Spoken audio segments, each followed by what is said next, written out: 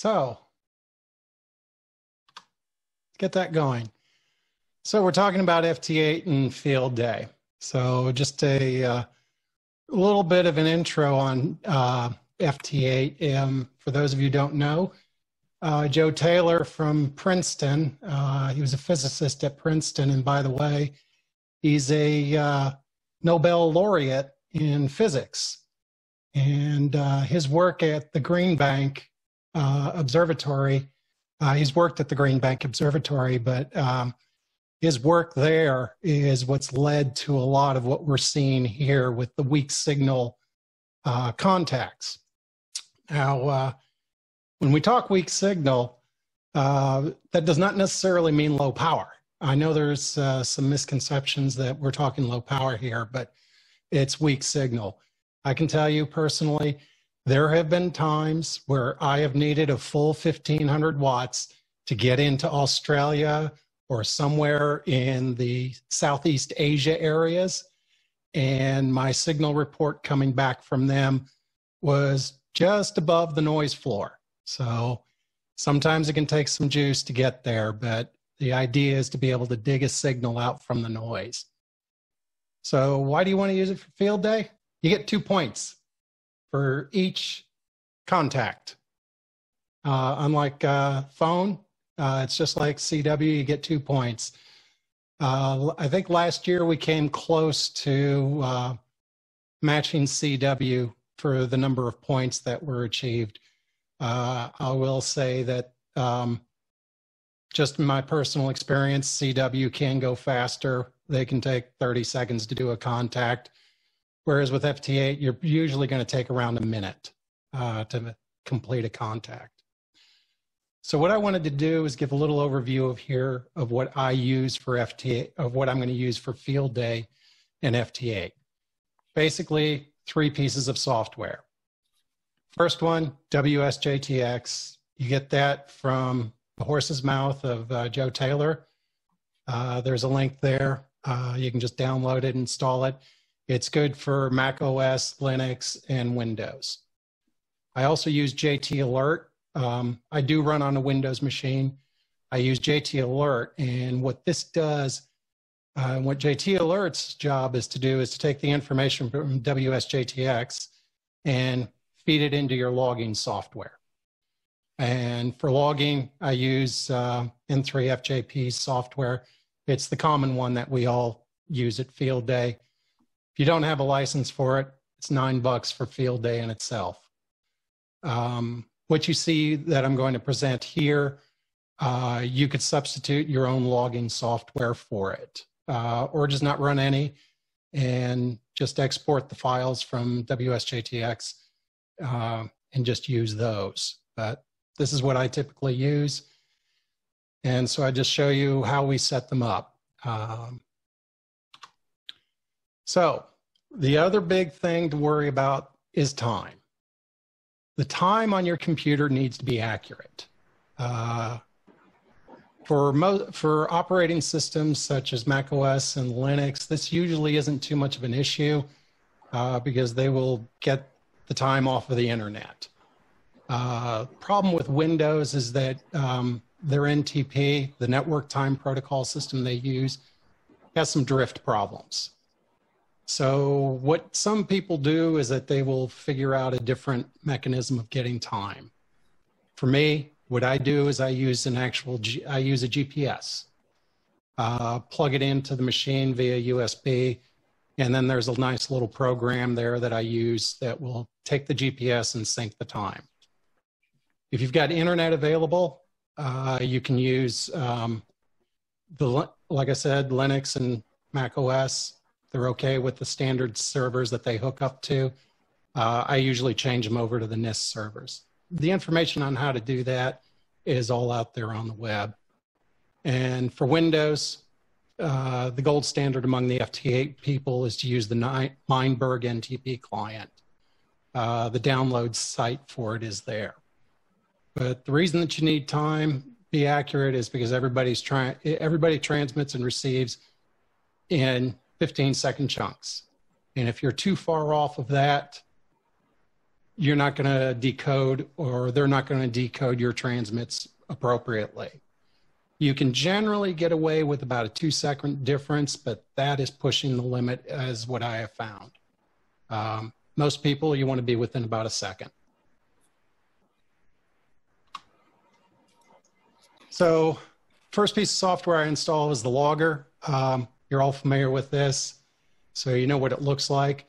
Uh, what we'll do is we'll just go through the setup real quick of what I do um, for uh, for this uh, logging software. Uh, for the rig interface, you're going to need to set. Uh, what I do is take control of the rig away from N3, uh, the N3 logging software. I give it to WSJTX. So when you get into the um, rig interface, you want to set it to none. Um, it'll be happy with it. It'll get all the information that it needs from the um, FT8 software. The other thing that you need to do is to enable the, the application programming interface. So you select settings, go down to the bottom, uh, near the bottom, select that, and you'll get a window that looks like this. Make sure you select TCP API enabled and make sure the port is 1100. That's critical. So now we move on to setting up WSJTX. Um, I'm just going to shorten my phrase on that to say JTX or TJX or whatever it is. Um, so I may intersperse those. This is what the screen kind of looks like when you've got it up and running. Uh, you have one main screen that it's showing you the decodes as well as uh, what's uh, for the entire band as well as for wherever your uh, receive frequency is set. And then you have a waterfall, uh, which gives you a nice view of what's going on on the band, where the gaps are that you can uh, transmit in and set your transmit and go from there. And we'll talk about that in a little bit. So to set it up, um, go to File, select Settings, and you'll get a window that pops up that looks like the one on the right. Fill in the appropriate information. You'll need the call. Uh, generally, the ones that I play with are um, you need to set your call, your grid. Um, the rest of the the rest of the top uh, station details, they're uh, defaults, and they're just fine. One of the other things that I will do is I will um, set blank uh, the blank line between decoding periods. You'll see that under display. I change my distance to miles. Uh, and you can play with any of those, see, set it up with the way that you like it. The other one that uh, you definitely want to hit is the double click on call sets transmit enable. So what happens is that when you see somebody that you want to talk to, uh, you double click on their uh, call sign, it'll automatically set up the outgoing message. And with the double click on, on call sets transmit enable, it will automatically start transmitting. If this is not set, you'll double click it and it won't start transmitting until you hit the button that said enable transmit. So this is a little time saver just enable that and it'll help you out.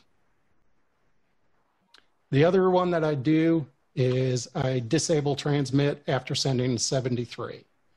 So what'll happen is, is that as you cycle through, when you do a message, so what'll happen is, is that if this is not set, it's going to automatically go to the next message, which is generally a CQ. You'll start calling CQ if you're running search and pounce, which I often do during field day, you're going to need that set. Um, so I just set it and leave that to always disable my transmit after it sends the 73 message. And then when I want to start a new cycle, if I'm doing if I'm doing a run where I'm CQing, I'll just hit enable transmit again. Let's see, what else in the settings? We have, um, you need to set up your radio. Um, this is where I let WSJTX um, do the handling of the radio. Uh, you'll need to set up whatever is necessary for your rig. Uh, I run an Elecraft, and it's actually running through a um, uh, one of Microham's little uh, boxes. So I have a serial port for cat uh, for cat control, as well as a different serial port to actually do hardware um, PTT. If you don't have that available, you can always do it via Vox or CAT. It's your choice. But once you get your CAT control parameters set forever how you're controlling the rig, then you can hit a button called Test CAT. What'll happen is if you get it right, it's going to turn green. Yay. so that means you have communication with your rig. That's a big critical step. The next thing you do want to check is your PTT. Whether you're doing Vox, CAT, or COMPORT, check it. And what you do is you just hit that button. Now that button doesn't become enabled until test CAT is passed. So once that hits, then what you do is that you'll hit that. It'll actually turn red while it's transmitting. Uh, I didn't show that here, but it'll turn red. Just hit it again to turn it off. And what you can do is check your rig to see if uh, it's in a transmit state when you hit test PTT. Um, so that takes, that'll get your rig set up. Next thing you need to do is set up your audio. Um, you'll need a sound card coming in. You need input and output. Again, if you're using a signal link, if you're using any of the other possible devices, you could actually even have your radio directly connected to your computer's input and uh, line in and line out. Those are possibilities. Um, is there people asking questions just out of curiosity? Yeah, I, I put mine in the uh, in the chat to you personally, but uh, Joe, uh, okay. you and I talked a little bit about split operation and and fake it, and I know you have time constraints. Yes. don't have time. That's a that's okay. But, sure, and and actually that's a good point. I do have a note here to bring that up. Um, uh, on the questions, guys, uh, my screens are limited on what I can see, so um, if you do have a question, just go ahead and feel free to unmute and say something.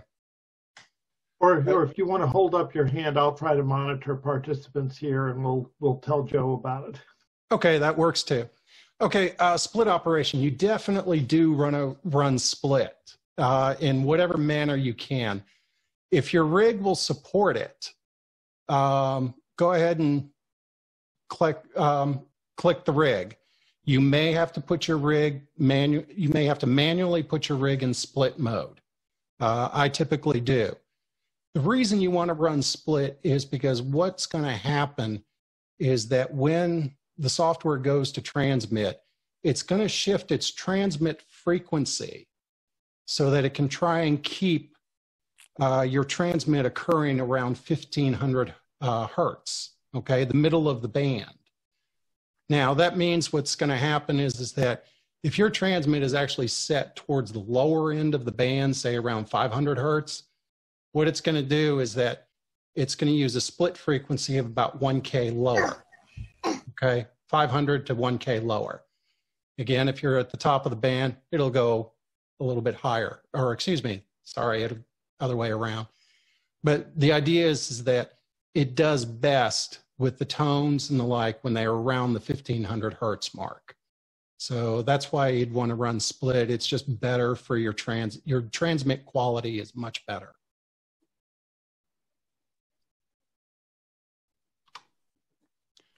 So after we've gotten uh, audio set up, um, reporting uh, these settings, uh, there, the one thing I put in here is to prompt me to log the QSO. What'll happen is that a little message will pop up once it's done, and you'll it'll say, um, "Do you want to log the QSO?" I set that. Definitely set that. Log the QSO. There is another one that you saw below there. Uh, log automatically. I don't use it. Uh, some people like to use it, but personally, I don't.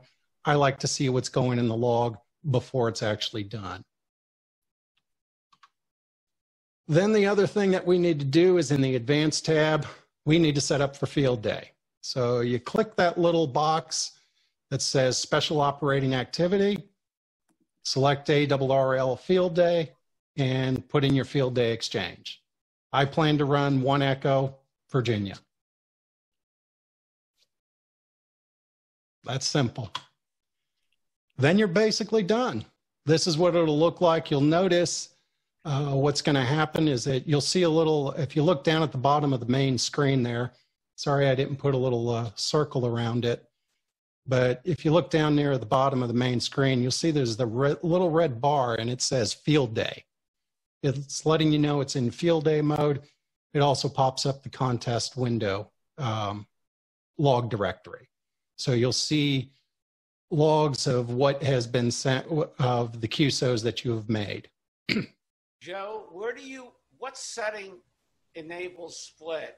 I didn't see that. Oh, okay. Let's go back up real quick. It's And right here. Mike Ellington had a question. Sure. On the settings window, on the on the window on the left, um, right above where you see the green test cat button there, Yes. that's split op. That's where you set the split operation. Okay, gotcha. So do you have to put your rig in split operation? I yes, I do. So I just uh, all I have to do on my rig is push a button, say split.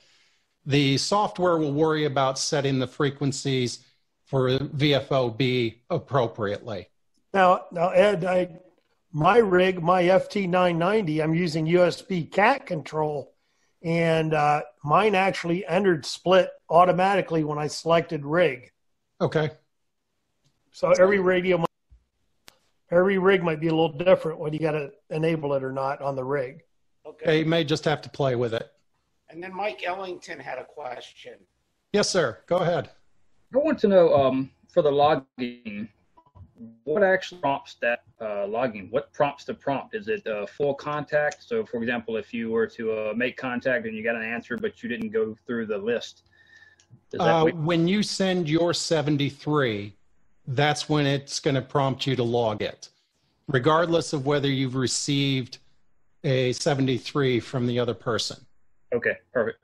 And so sometimes you may have to play with it. For example, a lot of times I'll send a Roger Roger 73 and I'll get the prompt to log it. I'll log it. And then what happens is that he has actually hasn't heard my Roger Roger 73. So his previous message has, he's still transmitting his previous message. So I have to go back and manually hit it to resend the Roger Roger 73. I'll show you where that is in just, uh, let me get down to a screen where we can see the, uh, right here. If you look over uh, under the um, generated standard messages towards the bottom of the main screen that's on the left there, what happens is that you'll see a button uh, appear. There's a column there that says next. That's going to tell you what the next message is that i- you're going to be sending. So when you're when it's auto sequencing, it's generally going to go from the Roger to or the Roger Roger 73 down to CQ. So if he has not sent if he hasn't heard my Roger Roger 73, which means I've heard everything you've got, I'm saying goodbye. If he hasn't heard that, he's going to retransmit his message saying, by the way, I got your information. Here's my information. Please confirm it. So I have to go back and hit the button next to the Roger Roger 73 for him and hit transmit enable. So you're going to have to play with it some um, in order uh, get used to it. Um, people understand mistakes happen, and believe me, that when you're going through this, uh, you're going to sometimes uh, not respond to a person when you think you sh- when he's expecting it, but they generally will stick with it and keep talking to you for a while. So JT Alert, um, this is what handles actually taking the messages from WSJTX and feeding them to the logger. Again, it's another program that's easy to set up. Uh, for this, you just uh, go to the settings and select Manage Settings or press the F11 key. And you'll get a window that looks like this. So you want to go down and basically you can leave everything, to almost everything default. The only thing you generally have to change here is the logging. We need to enable it. So select that, then go down to uh, AC log and select that. And you'll get a window that shows this, uh, that you'll see what you get here. And then what you want to do is select enable AC logging. Okay. This is the uh, logging in which this is what allows it to talk to the field day software that I'm using. If you're using a different logger, you can see that there's a number of options there. You've got uh, DX Lab, you've got HRD, you got Log for Old man. So you've got different options. And then for the um, field day software that we typically use, hit, uh, be sure to hit remote networked PC. Uh, you want to do that because you enabled the other side of it on the logging software earlier. Uh, make sure the port is still at 1100. Uh, it should come up with the default address of your local machine 127001. The other critical one is this. You need to point it to the uh, log database. The typical location for it is the documents Affirmatech, N3, FJP, uh, ARRL field day log data. That's the typical location. If you're not sure, uh, there is a button in the logging software for N3 uh, FJP that will tell you where the log data is. And then make sure you set the appropriate log type. Uh, the only other thing that you really need to make sure of when you are playing with this is go to the sound card. Make sure that it does not want to use the same sound card that is talking to your rig. Generally, you want this one to be whatever talks to you through your speakers uh, because there's an option with JT Alert to do voice notifications. I typically turn that off but you do need this thing to be pointed to a sound device other than your rig. Otherwise, it could end up playing those um, those messages out your radio, which you may not want. Uh, the other thing to do, I go ahead and put in my call sign, station location, that's just uh, for its for its ability to sit there and give you information about the other uh, the other contact. Not really necessary, but you can go. I go ahead and do that. So we're all set up. Now we're ready to run it. Uh, so what'll happen is that we'll go through. Um, once we get done with the contact, uh, this is the message that you'll. This is the um, uh, when you're done and you've done the 73, this is the prompt that you get for logging the QSO. Okay. So what it's going to show is the start time, who you talk to, mode, ban, uh, as well as the exchange sent and received. I kind of like to look at it and make sure it's correct. Once you hit OK, it's going to log it. Uh, if you notice, it'll also show up in the contest log. And then boom, it's going to show up in your uh, log software. Easy peasy. I know it sounds like a lot of steps, but most of them are one step at a time and you will get there. Uh, I have some operational um, tips if you we can go through. Um, one of the things that you want to do is on your audio input level. If you can control the level of the audio coming into your computer, and generally you can either do that at the radio, at your sound card, or even in the sound mixer that's on your computer, whether it be Windows or Linux or Linux or Mac OS, there's generally a way to do it. And so you want to get that set um, so that your the uh, the green bar that's over here on the uh, right hand side, uh, excuse me, left hand side of the main panel, uh, you'll see that little uh, receiving uh, green bar on the left hand side. Generally, you want that down around 30, 30 dB when there's nothing on the band. You definitely want to make sure this never goes into the red. Uh, otherwise, you're just going to overdrive the um, the software and you're going to miss a lot of decodes.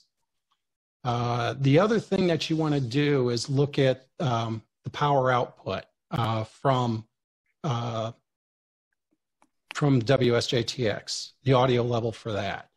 That's over there all the way on the right hand side. It's that uh, blue slider bar that says PWR. I know it says power, but what it's doing is it's just driving the audio level.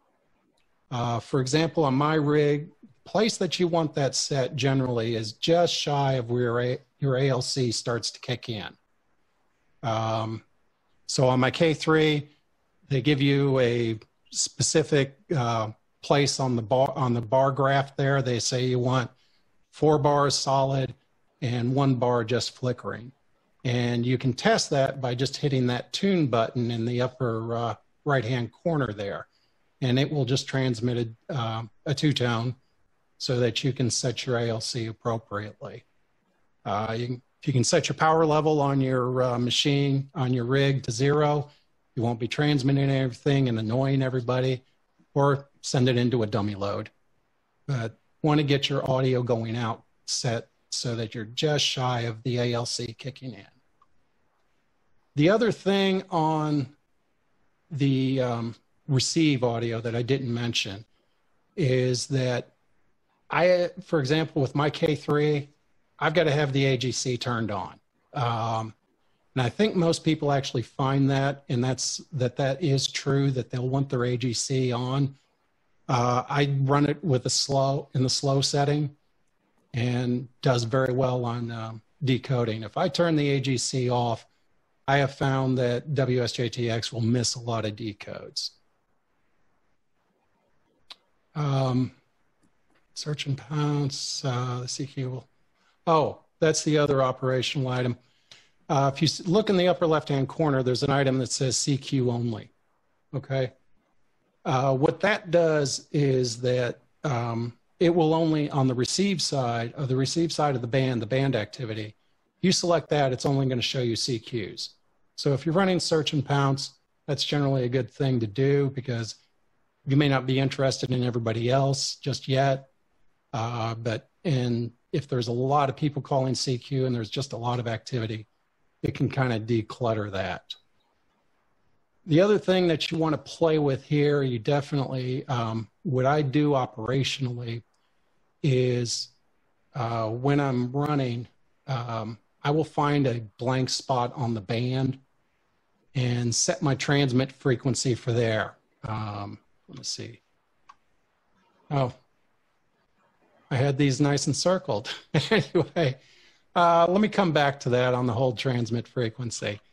So we've talked about this, the green bar, the receive side, you need this to be in the green. We've talked about that. The tune will let you do that. Uh, auto sequencing, I definitely select that. Uh, what that does is that's going to have the software move from one message to the next automatically. This way, you're not having to click that next button and hit transmit or something like that. You're just, uh, the software can handle it. You only have about, there's about 50, each transmit section is 15 seconds. Of actual transmit time, I think it's 13.7. So there's about 1.3 seconds there where you would have to be making decisions about what's the next message to transmit. This is where the auto sequencing really does help. Call first um, is very useful uh, when you're running, uh, when you're CQing, when you're when you're in run mode, and you get four people respond to you. So which one is it going to pick? Well, the first one at D, when call first is selected, it's going to pick the first one it decodes and answer him. After that, and you've done the 73 for that, it's up to you to hit the next one, decide who's next. And what I usually do is try and keep an idea of who answered me the or who answered my original CQ or who's the oldest one in that queue. You kind of just got to watch that receive side and see who's been sending it. Um, you do this a couple of times and you'll get the feel for it. Uh, it's really not that daunting. And sometimes people will give up before you have a chance to get around to them. That's okay. It's their loss. Hold frequency. Um, this I will typically use. Like I said, what I will do is that I will find a space in the band uh, that looks clear. Uh, for example, if you look right now on the right hand side of the screen, towards the top of the waterfall, you see a little uh, uh red bar and a um, and green bar uh, at the top of the band. That means my transmit and receive frequencies are in the same place uh, right now. And actually, it's a busy place. So, what I will do is I will try and find an empty spot in the band by just looking at it and then set my transmit frequency to it. Well, that one over there uh, near 2000 hertz looks kind of empty. So what I'll do is I will hit, I will put my cursor over there and hit, I think it's shift, shift click, and that sets my transmit frequency. And then I'll hold my transmit frequency there, whether I'm CQing or answering somebody else, even if they're somewhere else on the band. Uh, the software will automatically uh, shift your receive to whoever you're answering. Um, let's see. I think that's about all that I had right now. Is there any questions? I'm sure there are a lot. Hey, Joe. Yes, sir. Uh, with you mentioned standard messages. I mean, is this something you've already pre-entered into the software, canned messages, or what? Good, good question. Uh, the software, the the protocol uh, for using FT8 has a standard set of canned messages, which generally goes along the lines of somebody does a CQ that includes their call sign and their grid. Right. When um, when you double click on them on their um, call sign when you want to answer them, the software will automatically generate those messages for you. So your your answer to them would be generally be their call sign, your call sign, and your grid. Mm. However, when you're an FT uh, doing field day, what it's going to answer with is um, it's going to send his call sign, your call sign, and your exchange. So, for example, you will see that if you look on the uh, left hand side there under generate standard messages, that column there, the next message, the first message that I'll be, be sending is my call sign or excuse me, his call sign, my call sign, and my exchange. Because we're not exchanging grid information here in, during field day.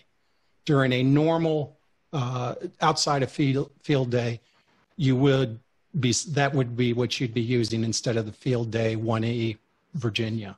Mm-hmm. And so these messages are automatically generated. You can add free messages um, by um, there's a window there. If you, I think it's either number two or three, those tabs. There's a place where you can put in a free message. You're limited to uh, 13 characters. Okay, so it's not conversational, it's strictly contact.